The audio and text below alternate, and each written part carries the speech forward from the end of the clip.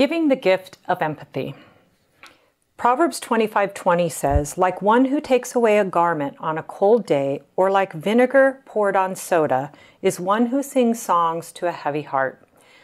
I kind of knew what it would feel like to take away a garment on a cold day, but I had no clue as to what it would be like to pour uh, vinegar on soda. So I tried it. And what it did is that the soda just violently sizzled, like it was burning. And so I thought, whoa, that's pretty dramatic. So basically, it's saying that if I sing songs to a heavy heart, I'm like burning the person, I'm stinging them. So let's keep that in mind when I'm talking about how to give the gift of empathy.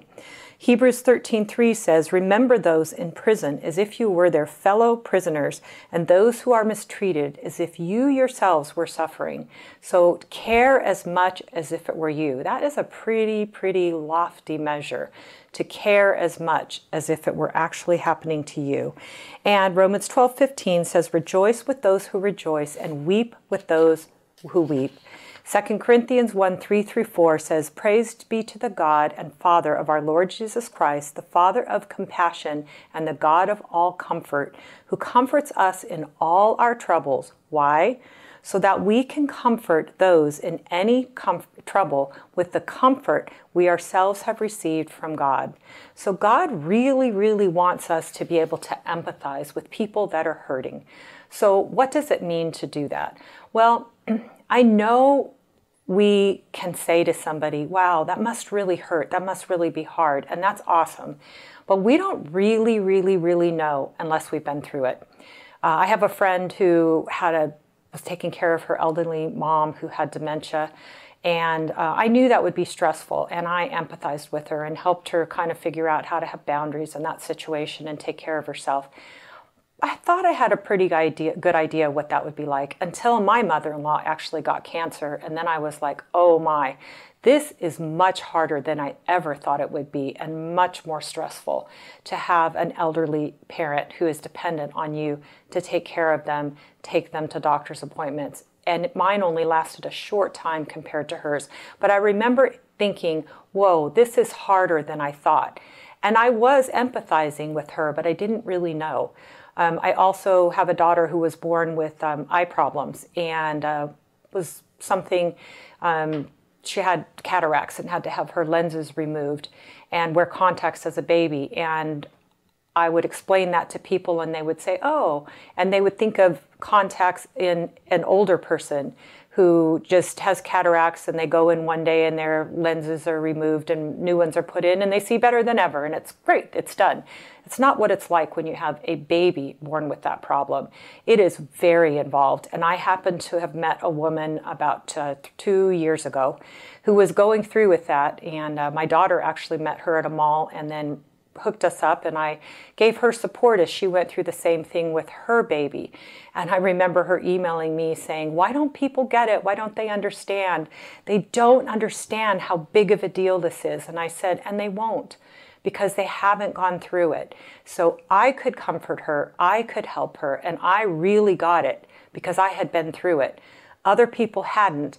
And it wasn't their fault. They just really didn't know how stressful and how involved that was to have a baby born with that problem. So when people are sharing their pain with us, um, we can empathize, but remember if it is something you truly have gone through, you're going to be able to empathize at a level that you can't if you haven't gone through that. Don't feel bad about that. Doesn't mean you can't empathize, but just keep it in mind in how you respond and what you say.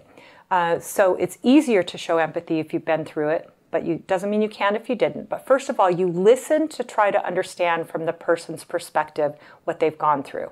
Really listen, not just to hear them and go, uh huh, uh huh, uh huh, that was really hard, but really to try to understand how hard is this truly? What is this person going through? What problems are they experiencing?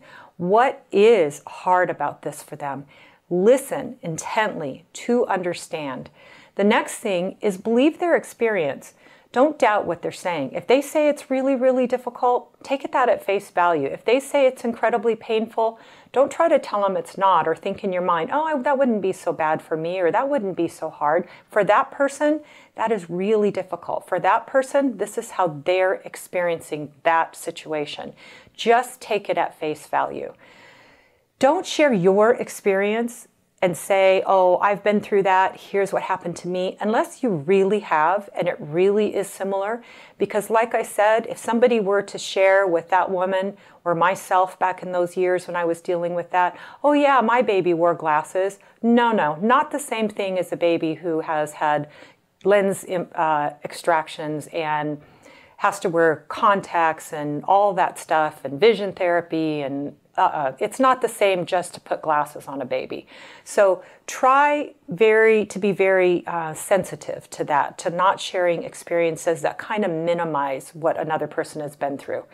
Not saying um, I know how you feel unless you really do. Kind of keep that in mind. That's another one of those phrases that are sentences that are kind of um, weak if it's not really true. And the next one is don't offer platitudes and pat answers. Uh, we're really bad at that as Christians because we say, oh, just trust God, He'll work it all out. Just keep praying, I'll pray for you. It's nice, but it doesn't cut it. It's not good enough. It's that's not enough.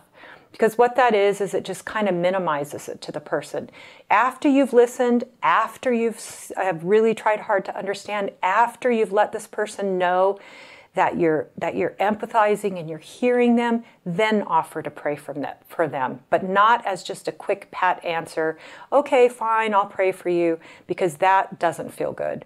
The next one um, is to not offer quick fixes or tell them what to do.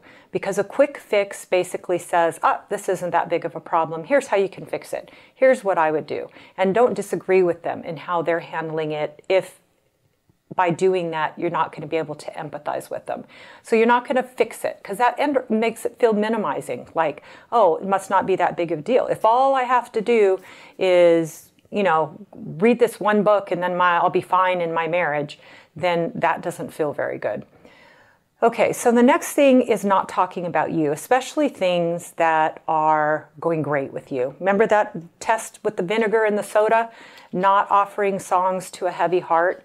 Okay, you don't want to, it's like burning them. It's like, oh, your life is really difficult and falling apart and you're in pain, but hey, I just got this great job promotion. Now, you might be able to do that with a very good friend in which you have a very healthy, good relationship to where you already know you both really care about each other, or maybe your spouse, but it's probably still not the best time for you to bring up something really good.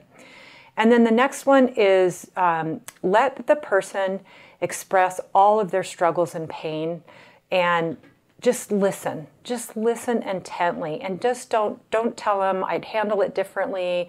That's not how you should feel. Just listen and that's empathizing. So if you can do these things you will be truly offering somebody the gift of empathy. Thank you for watching this video on change my relationship